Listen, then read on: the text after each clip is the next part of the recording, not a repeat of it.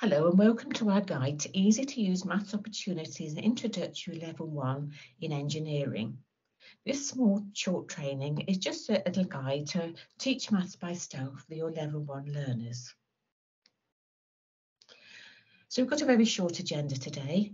Uh, number one, we'll just be looking very quickly at what does maths, teaching maths by stealth mean. Uh, secondly, we're just going to be looking at uh, quickly an engineering maths quiz for your learners, which is available on the Pearson website. And thirdly, we're going to be looking at a guide to the maths opportunities in each engineering optional unit. So teaching maths by stealth, why would we want to do this? As we know, engaging learners at level one can be challenging and engaging maths at any level can be challenging. So trying to engage learners in maths and uh, at a level one can be even more challenging still. And there is a big importance of understanding maths at level one because it's a key skill that they're going to need to learn to understand uh, how to overcome challenges for really the rest of their lives.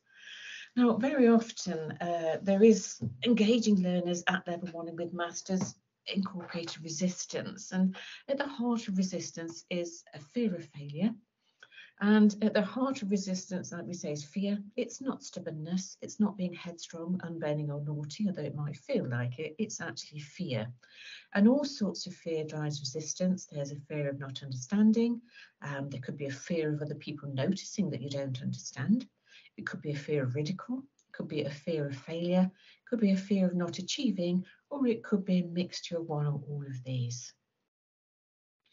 So within teaching maths by stealth, what do we mean? Well, very often to, to try and sidestep the resistance, what we try to do is omit the M word. We try not to say that we are going to be teaching maths today. So what we try to do is to keep the maths simple and to teach the maths via practical subject specific activities. And sometimes it's useful as well to outline to your learners what can happen in engineering calculations are incorrect. What does happen if you measure incorrectly? What might happen if you get the size wrong? What could happen if you get costs wrong, etc.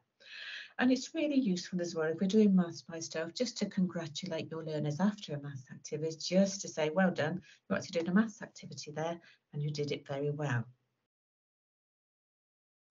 So an engineering maths quiz. We have an engineering maths quiz on um, the Pearson website. There are nine questions with maths base uh, relating to engineering. And uh, we actually think it's worthwhile discussing some uh, these as a group. You could do one each week, and it's just something sometimes to, to end up a little teaching and learning session. Uh, so for instance, just one of the uh, questions we've got in the quiz is, your college is buying drill gauges. A single gauge costs £2.75 plus VAT. VAT is 20%. How much would it cost to buy five drill gauges? Now, I'm not going to tell you the answer because that's something you're going to work out and do with your learners. Uh, but as you can see, it's not a difficult question, but it's a question which is going to be valid to them for, for later life, which is about calculating VAT and how to buy uh, multiple things.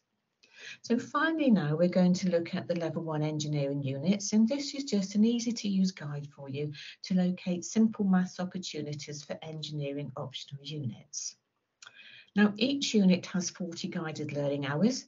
This includes teaching and learning time at the beginning of the delivery, which is separate to assessment time, which is at the end of the delivery of the unit.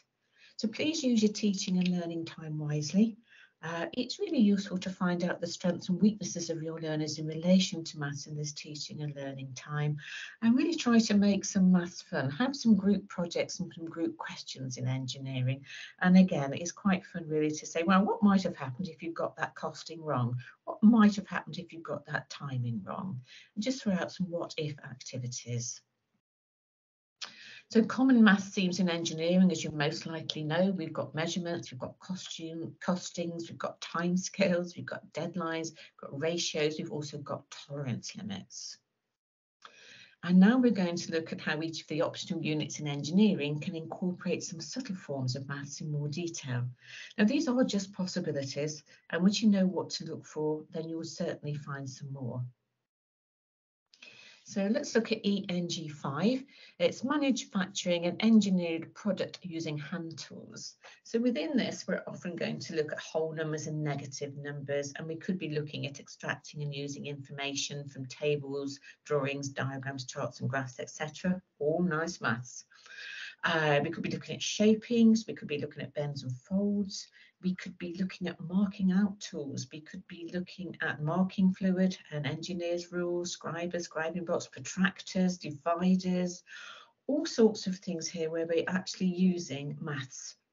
Uh, we could be looking at cutting tools uh, and cutting tools uh, do involve a calculation of where to cut so it could be here. But I think I think is it uh, measure twice, cut once. I think is is is the optimum, but uh, it could be the other the other way as well. So what if you don't measure twice? What if you do get it wrong and you've used your cutting tool? It could be preparing fluids for marking out. It could be uh, how much fluid do you use? Is there a ratio? We could be looking at marking out. This could be um, cutting guidelines, center lines, hole positions, profiles cutting and shaping, um, all sorts of things here which are useful for maths calculations and which do inherently just use maths calculations. So ENG6, so manufacturing a component using machining processes. And again, we're solving problems here requiring calculations. We're going to be looking at key features of engineering drawings. We're going to be looking at dimensions and tolerances. So straight away, we're seeing some maths opportunities.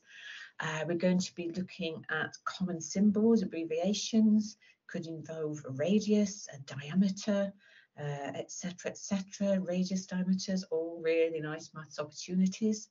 Marking out processes uh, to include use of engineer's blue, calipers, scribers, center punch, tool rule. And when you're marking out processes, you have to calculate correctly. Accurate measurement using appropriate equipment, steel ruler, calipers, protractor, micrometer, uh, height gauge, surface plate, etc. And a completion of inspection record forms to manage information. And here we could be looking at checklists and recording of tolerance limits.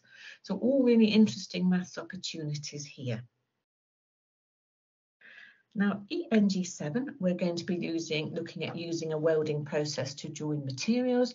There are perhaps limited maths opportunities here, but we still could be using um, addition, subtraction for numbers using a range of strategies. We could be looking at how big the two sets of materials are. We could be looking at how much welding uh, beads, how much welding stuff you're using. We could also be using the size of the welding beads. How long do they need to be? What is the optimum size? What happens if you use too much? What happens if you use too little? ENG8 is about assembling electronic circuits. Again, we could be looking at add, subtracting, multiplying, division. Uh, we could be looking at a resistor color code table to determine num numerical values from resistor colors and vice versa. We could be looking at systematic sequences of assembly. So we might be looking at a diagram or physical example. We could be looking at voltage. Uh, you could be explaining the use of color resistor codes. And uh, you could also be given resistors with a range of different values and use the information provided to determine the value of these resistors. Lots of opportunities here for using maths within electronic circuits, and I'm sure you can think of some more there. Uh, ENG9, this is carrying out routine mechanical servicing of equipment. Uh, again, lots of opportunities here. We could be looking at the time management of jobs to do. We could be looking at the cost of the parts. We could be looking at where you get those parts from. Is it more cost effective to get parts from places than others? We could be looking at the costs of labour.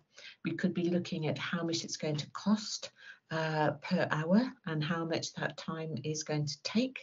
And we could be looking at the learners carrying out a, a routine mechanical service on equipment that follows a given plan accurately and returns equipment to the service within the prescribed time scale. Uh, so there's plenty of opportunities there. We could also be looking at calendars here, couldn't we? Carry out routine and service of equipment. How much could you do within a day? How many could you do within a week? How much is it going to cost you to do it? And how much might you be earning for doing that? So ENG10 is now carrying out an electrical installation. Uh, we've got all sorts of uh, opportunities here again. Uh, so just a, a, little potted version, we could be looking at circuit diagrams, line, line diagrams and layouts for all sorts of things involving multiple point radio for radio for an installation, etc., etc. We could be marking out the positions of equipment and cable runs, and this would also be looking at distances, which is a nice uh, maths opportunity, and we could be looking at at laying the correct type and size of cable to the required uh, shape and cut to length without causing damage. So we've got lengths here. We've also got cabling sizes. So a few maths opportunities there as well. Some of these opportunities can be really simple, but it's actually a really good starting point sometimes to make these maths opportunities simple. ENG11, we're looking at producing engineering drawings using CAD. So we could be using A3 template or A4 template. We could be looking at different sizes of paper here. We could be looking at including drawing numbers. We could be looking at symbols, scales, units, general tolerances, all sorts of things, uh, opportunities here for maths. Uh, we could be looking at the creation of engineering drawings. This would mean appropriate scale and dimensioning and centre lines. Uh, we could be looking at uh, engineered products and components, about drill gauges, uh, different size drill holes, sets of threaded holes in an appropriate order, all sorts of different areas here. We could be asking the learners to create an accurate template with appropriate information about the drawing. This could include units, dates, borders, scales, drawing numbers, general tolerances, etc. And we could be looking at the parameters of a CAD package. We could be looking at what is the drawing size, looking at the grid, and the use of folders and saving, all of which are nice little maths opportunities. Now for ENG12, we're looking at carrying out routine service tasks on a motor vehicle. Uh, we're going back here to, I think, the number of jobs and time allotted for whole tasks. Really important to know how much you've got to do and how much time you want to take to do it. We could here be looking at measuring fluids. We could be looking at oils, etc., how much to put in. Uh, nice little opportunity here, which we haven't mentioned so far, an airline and tyre inflator. We're looking at tyre pressure gauges. What, what should the um, correct tyre pressure be for different types of vehicles. We could be looking at tyre tread depth gauge. We could be looking at mileage. We could be looking at costs of new bulbs and costs of the labour to install the bulbs. Uh, often, sometimes the labour costs more to install the, to install it than the actual cost of the bulbs. We could be looking at the replacement of parts used. We could be looking at type and grade of any replacement fluids. We could be looking at vehicle registration numbers, manufacturer, model, year of manufacture in order to locate those replacement parts used and if there's some place uh, which might be more cost effective to use than others. So I think we've looked at uh, lots of different opportunities there, and I'm sure you'll be able to look for other maths opportunities in your assessment planning as we've just given that as a guide for you. And it's really useful in the maths at level one to make learners show their process so that you can see where they might be going wrong. They can just give you a step by step of how they calculated, then you can see where it might be uh, they might have been going in the right uh, um, stages, but then sometimes it's got one little bit wrong, it's made the final calculation incorrect and help the learners to enjoy the maths. As we've seen, there were some really simple opportunities there. There are some more uh, advanced ones perhaps, but if you start with the simple ones and work up, then hopefully they'll get a little bit more confidence in um, approaching those um, more complicated maths opportunities. And it's again, I think we've said this before, but help learners to see the useful of maths. What happens if you don't calculate the right way? What happens if you are budgeting and you've got the incorrect invoices for the job? What happens if you've measured incorrectly, etc.? What, what could possibly go wrong? So thank you very much for listening to this bite-sized training.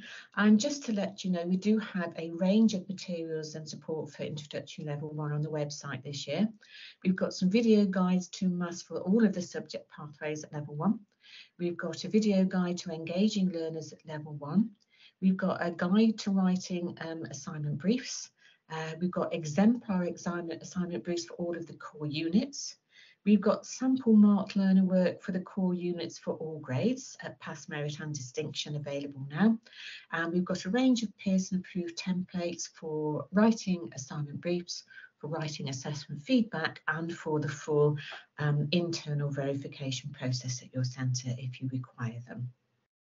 So thank you very much and I wish you all the best with your maths opportunities within engineering.